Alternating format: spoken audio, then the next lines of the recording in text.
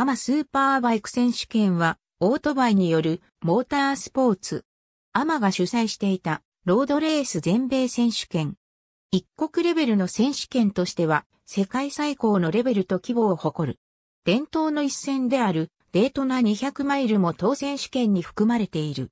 2015年から開催されている元アメリカロードレーシングシリーズの前身。1970年代のアメリカではフォーミュラ750というレースが存在していたが、2ストロークのヤマハ TZ750 が完全に制圧しており、フォーミュラヤマハと揶揄されるレベルで独占状態であった。そのため、車種の豊富な4ストロークエンジン車によるレースが考案され、当選試験が開催されることとなった。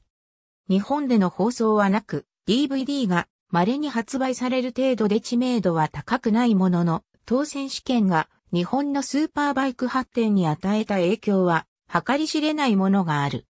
また、当選試験のコンセプトが欧州にも持ち込まれたことで、今日のスーパーバイク世界選手権に発展しているなど、一国内選手権としては過ぎるほどに歴史的に重要な役割を果たしている。同シリーズ出身で欧州でも活躍した者は多く、モートジッピー王者のニッキー・ヘイデンとスーパーバイク世界選手権王者のベン・スピーズの二人は、その最たる例である。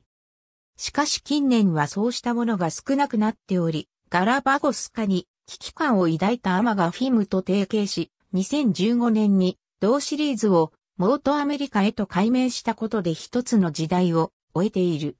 日本人の参戦者は、黎明期はそこそこおり、総和隆弘が1993年、ルーキー・オブ・ザ・イヤーを獲得している。近年では2005年に、ミン、辻圭がスーパーストッククラスに参戦している。ありがとうございます。